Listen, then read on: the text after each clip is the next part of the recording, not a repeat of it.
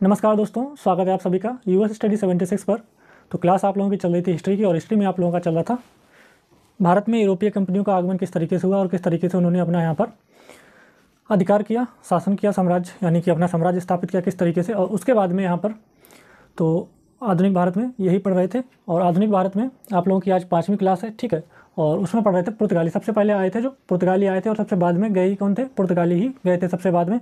तो पुर्तगालियों के बारे में ही यहाँ पर पढ़ रहे थे। तो पिछली क्लास जो एक क्लास हो चुकी है आप लोगों की पुर्तगालियों की तो उसमें पढ़ लिया था यहाँ पर। कहाँ तक पढ़ लिया था? फ्रांसिस्को डी अल्मीडा तक पढ़ लिया था, जो कि फ़र्स्ट गवर्नर बनकर आया था कहाँ पर?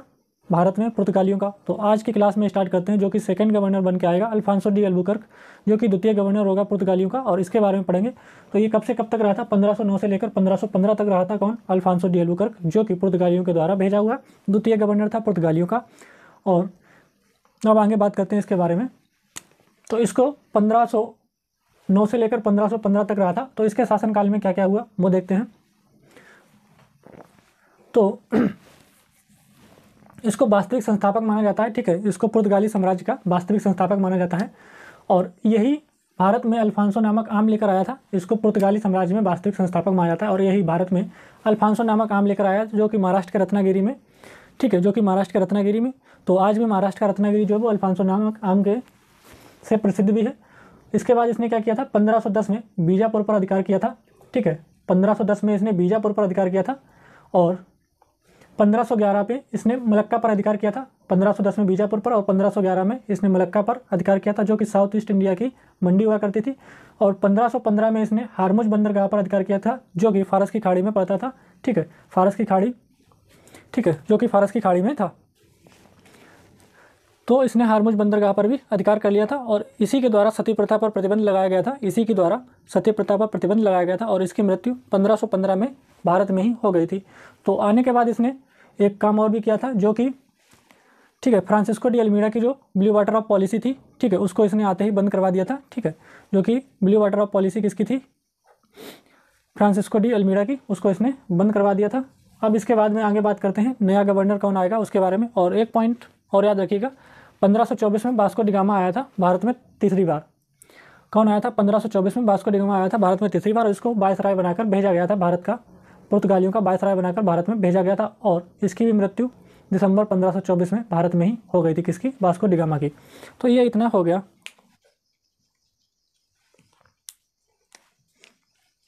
और हाँ अल्फांसो डी अल्बु, अल्बुकर्क जो था, इसने अपनी राजधानी कहाँ पर बनाई थी? इसने अपनी कैपिटल जो बनाई थी, वो बनाई थी कोच्चि। ठीक है, इसने अपनी कैपिटल क्या बनाई थी? कोचिन बनाई थी। पंद्रह सौ नौ में जब ये आया था तो हाँ एक पॉइंट और लिख लेना। पंद्रह सौ नौ में जब इसने ये आया था तो इसने पंद्रह सौ नौ में ही जो अपनी कैपिटल थी, या मुख्य केंद्र जो बनाया था इसने, वो कोचिन बनाया था। पंद्रह सौ नौ में आते ही इसने कैपिटल जो थी, वो कोचिन बना ली थी। और पंद्रह सौ पंद्रह में ही, पंद्रह सौ पंद्रह में ही गोवा में एक चर्च का निर्माण किया गया था। 1515 में ही गोवा में एक चर्च का निर्माण भी किया गया था। अब आगे बात कर लेते हैं इसके बाद में। जो थर्ड गवर्नर आया था, उसके बारे में, नीनो डी कुन्हा के बारे में थर्ड गवर्नर जो आया था। यहाँ पर लिख लेते हैं थर्ड गवर्नर जो आया था।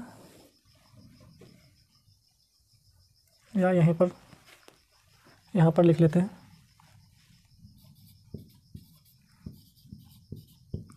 Third governor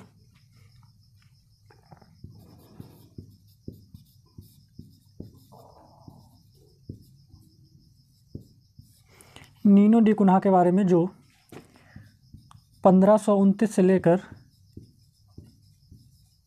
पंद्रह तक रहा था। Third governor Nino da Cunha जो पंद्रह सौ लेकर पंद्रह तक रहा था। इसने आते ही क्या किया था? एक साल के बाद में पंद्रह सौ तीस में इसने अपनी राजधानी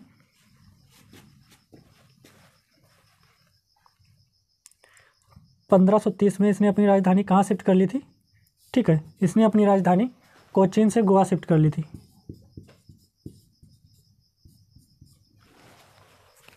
कोचीन से इसने गोवा कर ली थी अपनी राजधानी। ठीक है, इसने पंद्रह सौ तीस में कोचिन से गोवा कर ली थी। क्या राजधानी जो अपनी थी वो कोचिन से गोवा कर ली थी? उसके बाद में इसने क्या किया था? उसके बाद में इसने क्या किया था? तो उसके बाद में पंद्रह सौ चौंतीस में इसने क्या किया? नीनो डी गुना ने 1534 में इसने बेसिन पर अधिकार किया।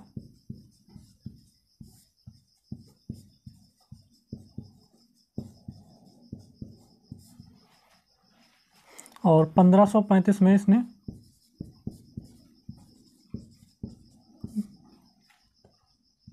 द्वीप पर भी अधिकार कर लिया। 1534 में इसने बेसिन पर अधिकार किया और 1535 में इसने द्वीप पर भी अधिकार कर लिया। ठीक है द्वीप पर भी इसने अधिकार कर लिया। उसके बाद में इसके द्वारा एक प्रथा स्टार्ट की गई थी। ठीक है। इसके द्वारा एक कार्टेज प्रथा स्टार्ट की गई थी। किसके द्वारा? इसी के शासनकाल में एक कार्टेज प्रथा स्टार्ट की गई थी। ठीक है तो कार्टेज प्रथा क्या थी उसके बारे में देखते हैं द्वारा जो प्रथा स्टार्ट की गई थी पुर्तगालियों के द्वारा वो क्या थी? कार्टेज अरमेड़ा। कार्टेज अरमेड़ा। काफिला।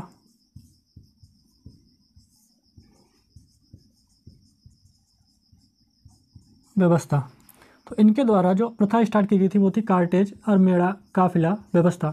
यह प्रथा क्या थी? कार्टेज और मेड़ा काफिला व्यवस्था, इसके बारे में जानते हैं। तो इसका मतलब ये था, आप लोग जानते हैं कि पूरे के पूरे अरब सागर पर, पूरे के पूरे अरब सागर पर पुर्तगालियों का अधिकार था। पूरे के पूरे अरब सागर पर पुर्तगालियों का अधिकार था। और जिस किसी को भी अगर अरब सागर से व्यापार करना होता था तो उसको ये कार्टेज और मेड़ा काफिला व्यवस्था थी। इसके तहत उसको क्या था इसमें कि लाइसेंस लेना पड़ता था, पुर्तगालियों से या अनुमति पत्र लेना पड़ता था या परमिट लेना पड़ता था किससे? पुर्तगालियों से, जिससे क्या होता था कि वो अरब सागर में अपने जहाज़ों को ले जा सकता था और एशिया के साथ व्यापार कर सकता था। इससे क्या होता था कि जो पुर्तगालियों के लुटेरे थे, यानी कि जो पुर्तगाली थे, वो क्या करते थे? उन जहाज़ों को अगर परमिट दिखा देते थे उन लोगों को तो वो लोग क्या करते थे? वो लोग जहाज़ों को नहीं लूटते थे। तो यही थी कार्टेज अरमेड़ा। ठीक है, काफिला व्यवस्था। कार्टेज अरमेड़ा और काफिला व्यवस्था। इसमें मुग़ल जो थे, मुग़ल सम्राट जो थे, उनको भी ये परमिट लेना पड़ता था किससे? पुर्तगालियों से, जो मुग़ल थे। ठीक है, मुग़ल साम्राज्य के जो बादशाह थे उस टाइम पर। उनको भी ये कार्टेज और मेरा काफिला व्यवस्था के तहत परमिट लेना पड़ता था। ठीक है, जिससे कि वो व्यापार कर सके। तो पूरे के पूरे अरब सागर पर जब पुर्तगालियों का अधिकार था तो उन्होंने इस तरीके से अधिकार कर रखा था कि बिना परमिट के कोई व्यापार भी नहीं कर सकता था। यानी कि आप ये कह सकते हैं कि अरब सागर पर पूरे के पूरे एकाधिकार था किसका? पुर्तगालियों का। पूरे के पूरे अरब सागर पर एकाधिकार था किसका? पुर्तगालियों का। तो इसके लिए वहाँ पर ये इन्होंने व्यवस्था लगाई थी अपनी। कार्टेज अरमेड़ा क्या होता था? कार्टेज अरमेड़ा का मतलब ही होता था अनुमति पत्र। कार्टेज अरमेड़ा, इसका पूरे का पूरे मतलब होता था? इसका मतलब होता था परमिट या परमिशन लेना या अनुमति पत्र? ठीक है, अनुमति पत्र। काफिला व्यवस्था ये होता था कि अगर किसी का जहाज़ जो है वो जाएगा, अरब सागर से अगर किसी व्यापारी का जहाज़ गुजरेगा तो उसको काफिला व्यवस्था के तहत,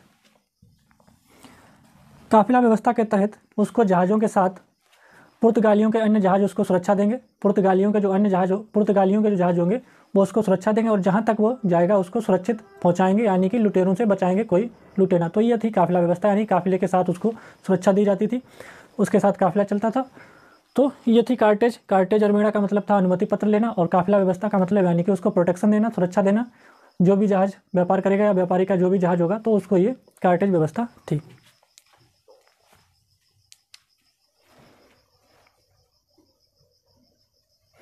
तो अब बात कर लेते हैं पुर्तगालियों के भारत में योगदान के बारे में।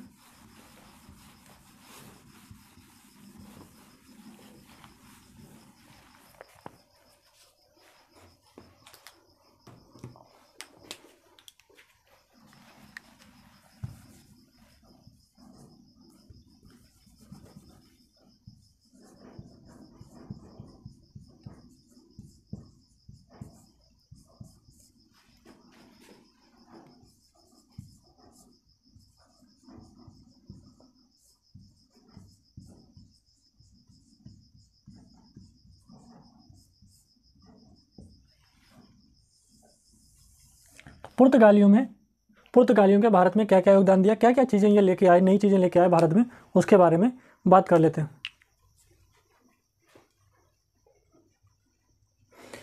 तो ये सेंट्रल अमेरिका से क्या क्या लेकर आए थे?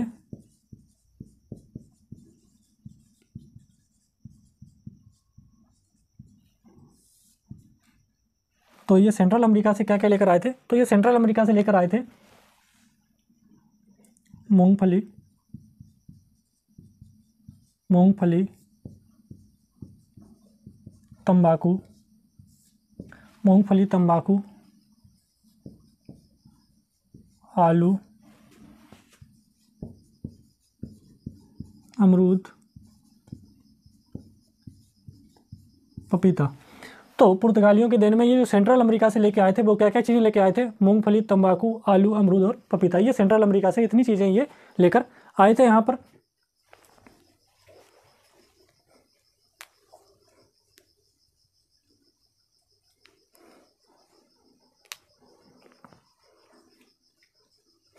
ठीक है, ये इतनी चीज़ें यहाँ से लेकर आए थे। और सेकेंड पॉइंट क्या है? ये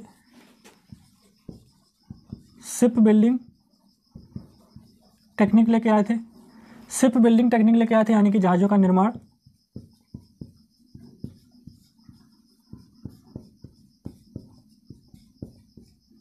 जहाज़ों का निर्माण और थर्ड पॉइंट क्या हो जाएगा यहाँ पर इनका?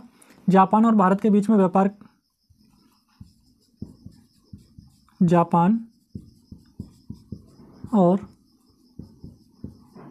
भारत के बीच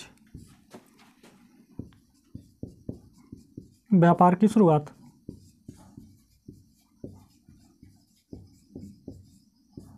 जापान और भारत के बीच व्यापार की शुरुआत और भारत में प्रिंटिंग प्रेस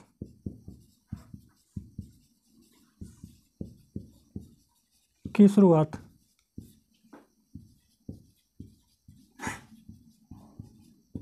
प्रिंटिंग प्रेस की शुरुआत ही किसके द्वारा की गई थी? भारत में पुर्तगालियों के द्वारा। पहली प्रिंटिंग प्रेस किसने लगवाई थी? पुर्तगालियों ने ही लगवाई थी। कहाँ पर लगवाई थी? ठीक है फ़र्स्ट प्रिंटिंग प्रेस पुर्तगालियों ने ही लगवाई थी। कब लगवाई थी? पंद्रह में लगवाई थी ये। पंद्रह में। प्रिंटिंग प्रेस की शुरुआत पंद्रह में की थी किसने? पुर्तगालियों ने। फ़र्स्ट प्रिंटिंग प्रेस जो लगवाई थी वो पुर्तगालियों के द्वारा लगवाई गई थी। फ़र्स्ट प्रिंटिंग प्रेस की शुरुआत पंद्रह में ही की गई थी। किसके द्वारा? पुर्तगालियों के द्वारा। गोवा में। ये गोवा में की गई थी।